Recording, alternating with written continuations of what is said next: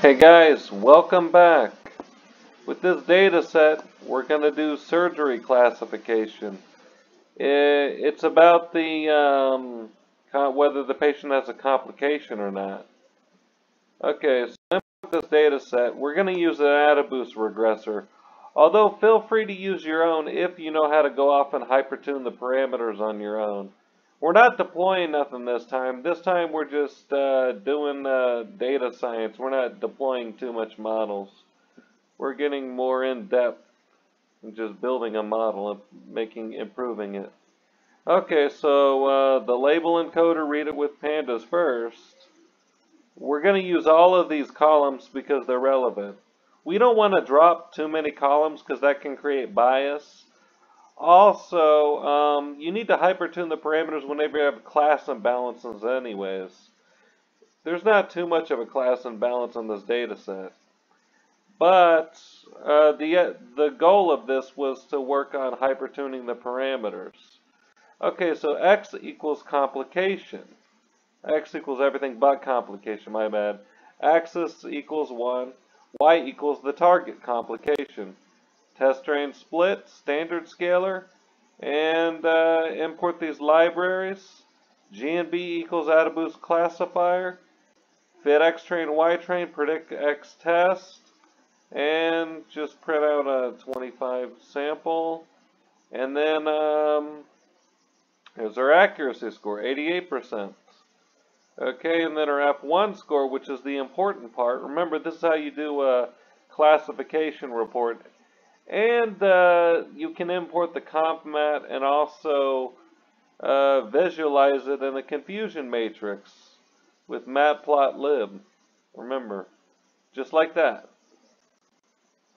Okay, we want to improve the model, even though it had a 74% F1 score, which is not bad. But if we wanted to deploy something, we'd want to make it the best we can, you know? Also, this is um, the goal of this is to show you guys how to hypertune the parameters for an AdaBoost because they're not all the same uh, parameters you can hypertune. So we're just going to do n estimators for AdaBoost, which turned out to be pretty significant.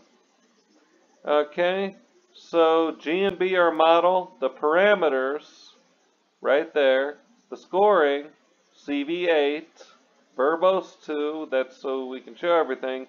And jobs, although they usually, the best you can do is 10 jobs without it making, uh, you know, because sometimes after 10 jobs it stops losing, uh, it, it can't do any more for you. Okay. So, uh, print the results.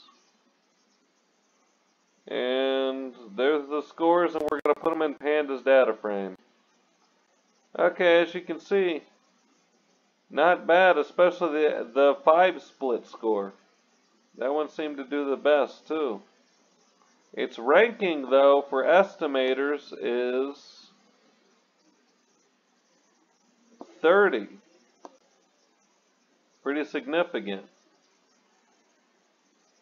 This was good enough, but why not make it better?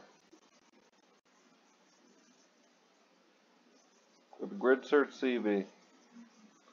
Okay guys, stay tuned. Uh, next time, we're going to build a convolutional neural network.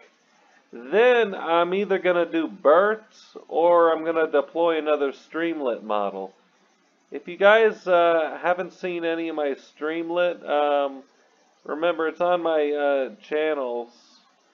It's on my channel. Uh, I got many playlists for it, for Streamlit deployments. Both machine learning and deep learning. One of them's natural language